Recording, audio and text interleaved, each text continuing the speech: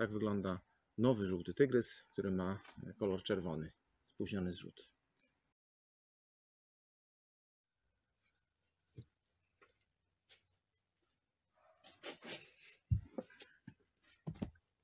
Dzień dobry Państwu. Witam w kolejnym filmie. Tym razem będę mówił nie o książkach tematy, o tematyce SPR-owskiej, tylko na temat Żółtego Tygrysa oraz pewnego rodzaju kontynuacji, takiemu luźnemu spin-offowi, który yy, jak na razie posiada pierwszą część, pierwszy tomik i zatytułowany jest Antykwariat Czerwonego Tygrysa.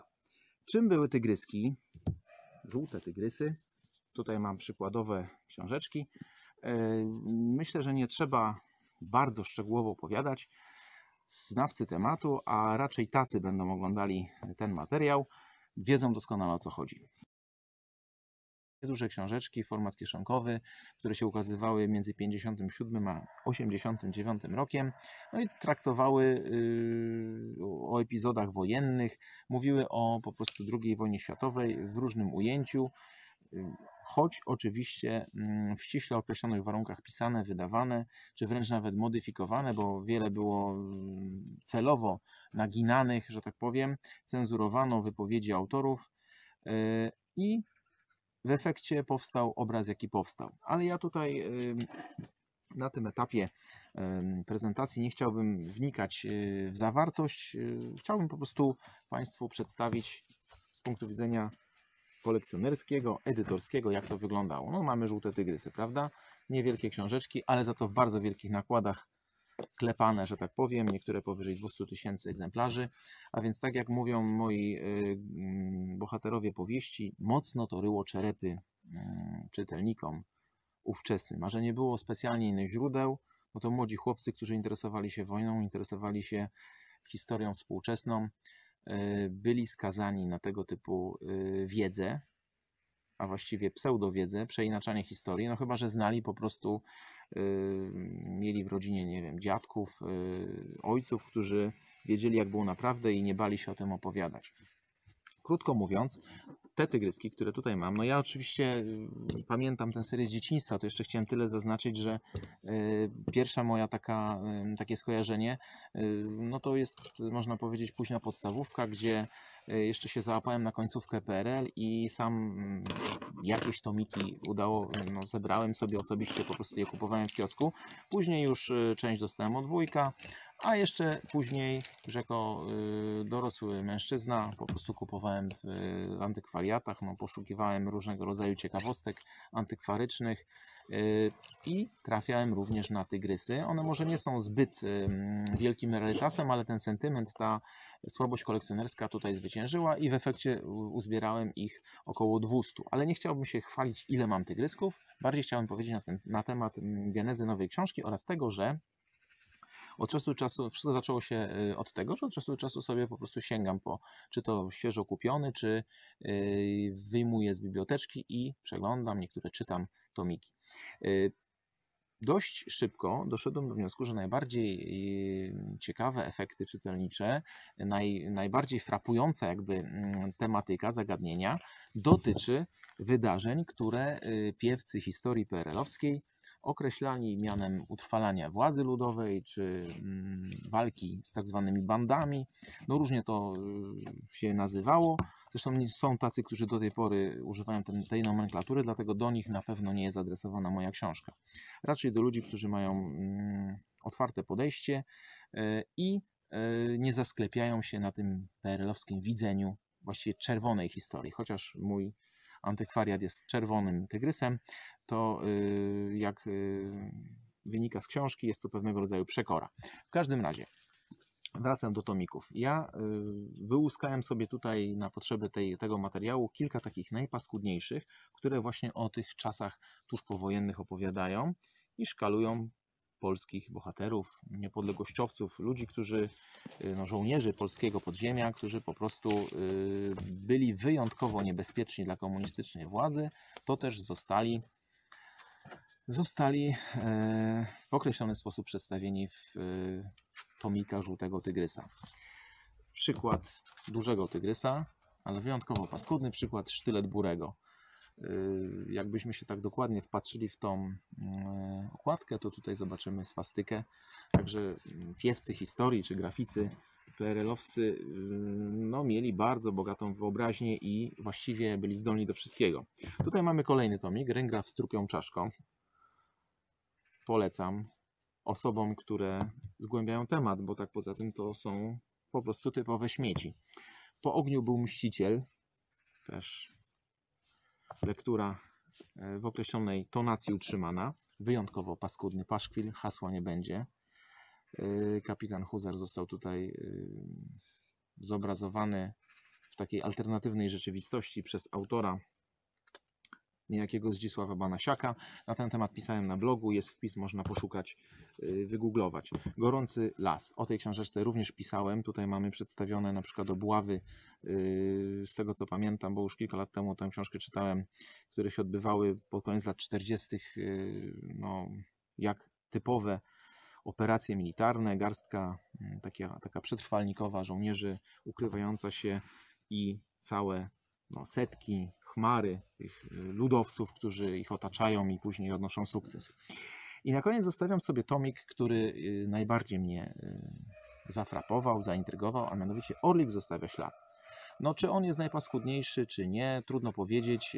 Tak jak powiedziałem, po lekturze akurat tej książeczki, Orlik zostawia ślad, uznałem, że podejmę tematykę tygrysią. Na początku myślałem o takiej bardziej dokumentalnej książce, czyli o prześledzeniu, wyłuskaniu z całego żółtego tygrysa tomików o y, podziemiu antykomunistycznym i jak ono było mm, prezentowane. Y, zacząłem pracę nad, tą, nad takim opracowaniem, ale po jakimś czasie doszedłem do wniosku, że mm, średnio y, taka forma mi odpowiada, jednak lepiej czuję się w beletrystyce i bardziej no, kręci mnie z punktu widzenia autorskiego napisanie opowieści niż Y, badacza. Nie jestem badaczem, nie jestem dokumentalistą. Może kiedyś wrócę do tego y, projektu, ale Olik zostawia ślad, zostawił taki ślad, że po prostu zacząłem zgłębiać y, mitologię związaną z oczywiście mówię w cudzysłowie o mitologii, tematykę związaną z podziemiem antykomunistycznym w rejonie Puław, w ogóle na Lubelszczyźnie, a przede wszystkim dotyczy to zgrupowania zgrupowania y, Mariana Bernaciaka Orlika. I w efekcie powstała książka. Powieść Spóźniony zrzut nie jest typową powieścią historyczną. Od razu zaznaczam, że akcja biegnie dwutorowo, to znaczy mamy do czynienia z rozdziałami współczesnymi i y, takimi osadzonymi w realiach wojennych w 1945 roku, które właściwie no, wypełniają środek tej książki. Obudowa jest współczesna, a co za tym idzie, współcześni są również główni bohaterowie. Oskar Nalewajka, antykwariusz, e, stąd między innymi mamy ten antykwariat tytułowy oraz e, najbardziej wiodąca w tej powieści postać Stanisław Rosu, przyjaciel Oskara, kumpel ze szkolnej ławy, chociaż panowie są już dorośli, mają 30 lat i te pasje chłopięce nie do końca u nich wyparowały, dlatego zaglądają w, mm, wskutek splotu pewnych wydarzeń w oczy historii historii oczywiście y, w realiach, jak powiedziałem, 1945 roku, która łączy się z y, historią, z pewnym, z pewnym y, epizodem zgrupowania Orlika. Konkretnie, żeby już tutaj maksymalnie, na ile to możliwe, uchylić rąbka, rąbka tajemnicy, to powiem, że chodzi o rozbicie puławskiej katowni, czyli tak zwanego Urzędu Bezpieczeństwa. Y, w 1945 roku, 24 kwietnia, miała miejsce taka akcja brawurowa, gdzie Orlik no, wdarł się do silnie obsadzonego przez, przede wszystkim przez Sowietów, ale też te, te yy, no, yy, komunistyczne, zawiązujące się polskie resortowe siły y, obsadzonego miasta. No i y, jak powiedziałem, w bardzo brawurowy sposób y, oswobodził więźniów politycznych. Y, I oczywiście jeszcze później akcja troszeczkę jest dalej poprowadzona. Tutaj ja tak kurczowo pokazuję tę książkę, dlatego że ona stanowiła mm, sporą inspirację dla mnie, a na temat akcji w Puławach tutaj jest raptem jedno zdanie, może dwa, jakaś taka wzmianka, która y, miała bardzo zminimalizować, no, no oczywiście mm, porażkę komunistów, a więc y, to, czym nie należało się chwalić, czego nie należało eksponować. Podobnie zresztą jak słynna bitwa w Lesie Stockim była w dużej mierze mm, przemilczywana. Nikt na ten temat się oficjalnie nie wypowiadał, że o historykach tak zwanych ludowych nie ma co wspominać. Wracam do tej książki. Walor estetyczny, jeszcze to nam zostało do opowiedzenia. Ta moja nowa powieść, Spóźniony zrzut, została wtłoczona w taką tygrysią ramę, bo tak sobie to z grafikiem wymyśliliśmy. Y, mamy oryginalny, oryginalną ilustrację, jest oczywiście logotyp, inne ujęcie tygrysa niż w oryginale y, powodów oczywistych. Mamy czerwony, y, czerwone tło, to już jest powód troszkę inny, ale jak mówiłem, no, pewnego rodzaju przekora i nawiązanie. A teraz jeszcze zatrzymajmy się tu na czwartej stronie okładki, na tyle. Jak widzimy, dość duże nawiązanie tutaj nastąpiło. Oczywiście jest inna treść, no i mamy jedyneczkę tutaj w nowym tomiku. Nie będzie y, numeracji takiej jak oryginalnie na y, łamane przez rok, dlatego że no po prostu tyle tomików w roku nie jest przewidywanych. Raczej nieregularnie y, będą się następne tomy pojawiały, aczkolwiek mam nadzieję, że będą się pojawiały. Jest w planie co najmniej sześć tytułów. Przy czym drugi, trzeci mam już dość mocno rozpisany tak szczegółowo.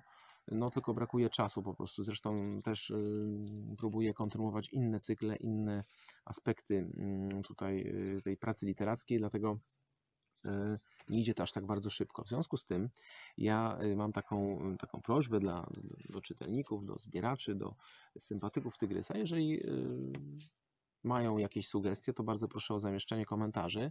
Tutaj, to znaczy pod tym filmem, może być na stronie wydawnictwa, może być na moim blogu, gdzie tam takie bardziej kameralne dyskusje sobie prowadzimy, bo od czasu do czasu y, pewne osoby się odzywają i mają, y, czy to na temat prozy esperowskiej, czy właśnie tej tygrysiej, mają jakieś zapytania albo sugestie.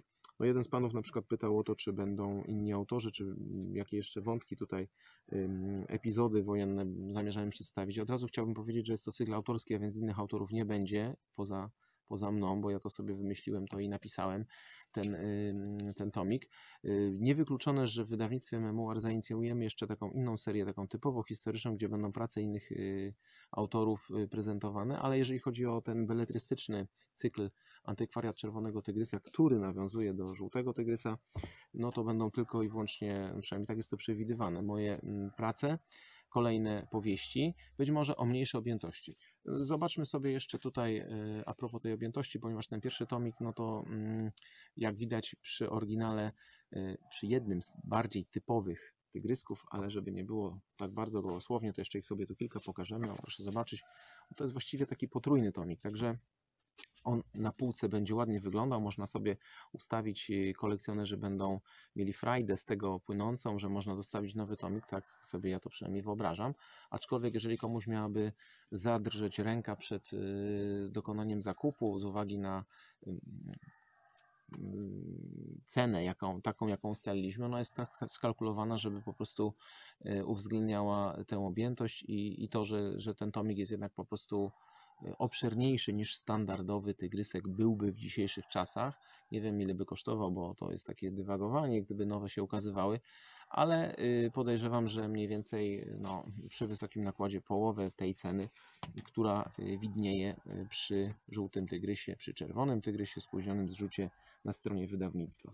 Także Wydaje mi się, że wszystkie kwestie już sobie tutaj omówiliśmy. Zachęcam Państwa do zostawiania komentarzy, ale dobrze byłoby, żeby one, mm, jeżeli w ogóle komuś przyjdzie do głowy y, coś pisać, no żeby to wynikało y, raczej nie z takiego y, widzimisię, bądź co gorsza złośliwego widzimisię, szczególnie jeżeli chodzi o, o przesłanie moich książek, ale bardziej, żeby to było oparte o mm, znajomość lektury, czyli żeby to były wypowiedzi merytoryczne. Także z mojej strony tego typu uwaga i prośba. E, no i wydaje mi się, że e, wyczerpaliśmy temat e, na dzień dzisiejszy, na teraz. Sprawa jest otwarta. Jak będą wyglądały kolejne tomiki? Mimo istnienia scenariuszy, oczywiście można kolejność zmienić, także gdyby ktoś miał jakiś ekstra ciekawy pomysł, sugestie, po zapoznaniu się ze spóźnionym rzutem, to proszę śmiało pisać. Y, ja to wezmę pod uwagę, a przynajmniej y, nie pozostawię bez odpowiedzi tego typu y, głosu. Dziękuję jeszcze raz za uwagę, za przebrnięcie przez ten film. Zapraszam na stronę wydawnictwa www.memoir.pl, zapraszam na mojego bloga www.rafalsocha.com. No i przede wszystkim życzę miłej lektury osobom, które y, nie są zasklepione na ściśle y, podanej historii, tylko y, mimo kolekcjonowania żółtych tygrysów zdają sobie sprawę, że tutaj y, nie wszystko było tak, jak zostało to opisane. Polecam, a właściwie no, sugeruję nabycie tej książki i zapoznanie się z zawartością. Dziękuję bardzo, do usłyszenia.